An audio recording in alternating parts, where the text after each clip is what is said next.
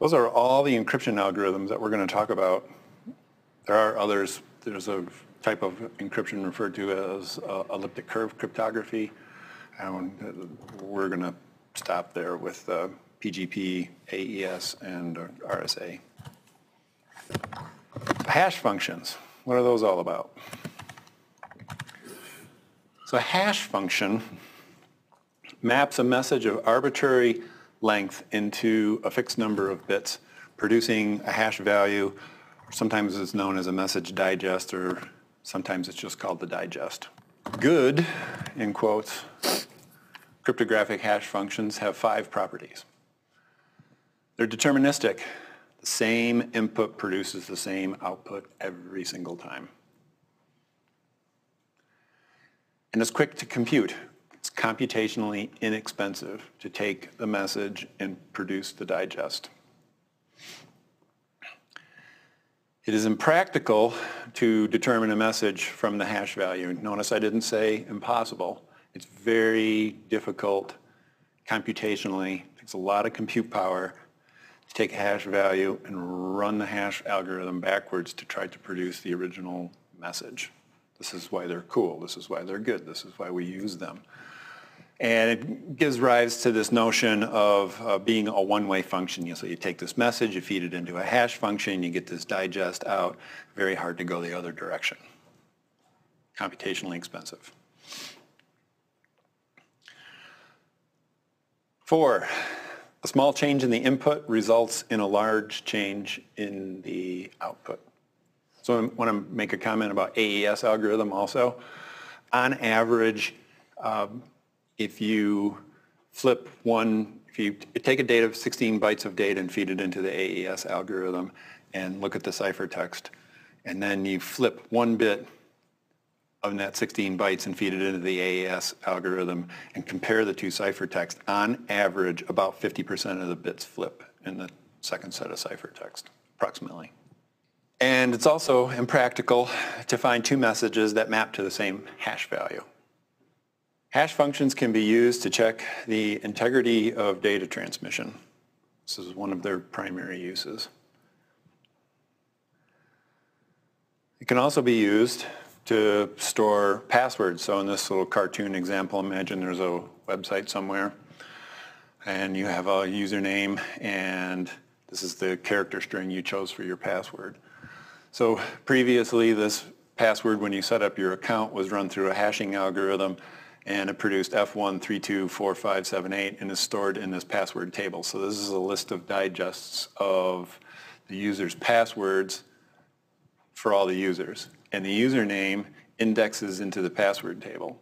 So you enter your username and you enter your password. The system uses your username as an index into this table, pulls out the hashed value of the password, and takes the password you, that you set up when you set up your account and then takes the password you just typed into the website, hashes it, and compares them. To, and if they're the same, then you're allowed access. If they're not the same, then you get rejected.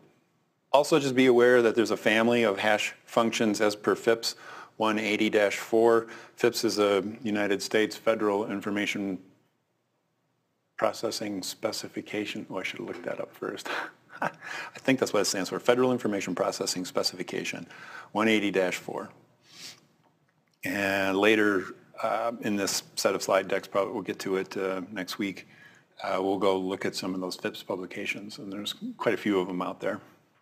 These hash functions that are listed in the specification are well st studied, and we have not spotted a problem. We, the uh, cryptographic good guys, uh, have not spotted a problem with them yet. So those would be, if you're looking for a good cryptographic hash function, uh, use one of the specifications in that FIPS, one of those algorithms in the FIPS specification. Remember I said security is never ever 100%, it's only so good. Um, we believe it be, these things to be secure until we, someone figures out a way to prove that it's not secure. Are there any weaknesses with this scheme? Um, can be. There's a, a, type of attack known as a, a dictionary attack, and The idea behind the dictionary attack is an adversary is able to steal this password table and has these values. And then what they do is they try and enter uh, passwords that map to one of the values in the in the table, and they can then later use that to log into your account. So, how would they get this? They might have be granted physical access to the server room and is able to log on and stick a flash disk in the server or a flash drive in the server, whatever, and, and download it. Um, kind of like Snowden. I don't know, not exactly sure how he got his data, but uh, he was able to pull a bunch of information off because he had physical access to sensitive equipment. Message authentication codes. These are like hashes, um, but they're a little more than uh, hashes. So it accepts as an input a secret key or key Ideally, you want to keep your key secret. Uh, and a message of arbitrary length, much like a hash function. And it outputs a fixed size MAC value, much like the uh, hash function does.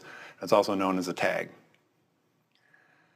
And a cryptographic hash function is one method um, to, to generate a MAC value. Uh, HMAC SHA-256 uh, through uh, request for, I can't remember what the C stands for now, request for comment. Is that what it is? 2104. Uh, these are, this is well documented, and you should be able to find that one out on um, out on the NIST site under the FIP specifications. And this one is, uh, these, including that one, are often used for authentication, and we'll uh, see how that works here coming up in a few moments. So here's an example of the usage of a MAC. Very handy. So here we are concerned about the authenticity. Did this message that Alice received really come from Bob? And integrity. Has the message modified in transit in any way? While it was traveling across this insecure channel. So previously, Alice and Bob, maybe using Diffie-Hellman, have established a shared private key.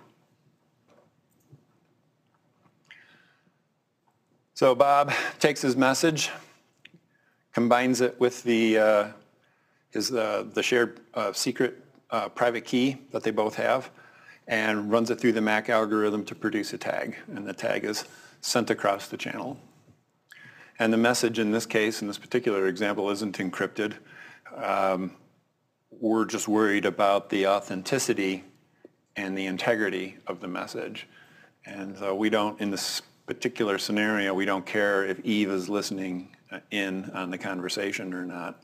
Uh, Alice and Bob don't care in this case. So the message is sent across clear text. So what Alice does on her side is she takes the message um, along with the private key and generates a, a new tag takes the receive tag and compares those, and if they're the same, then Alice can trust that the message came from Bob.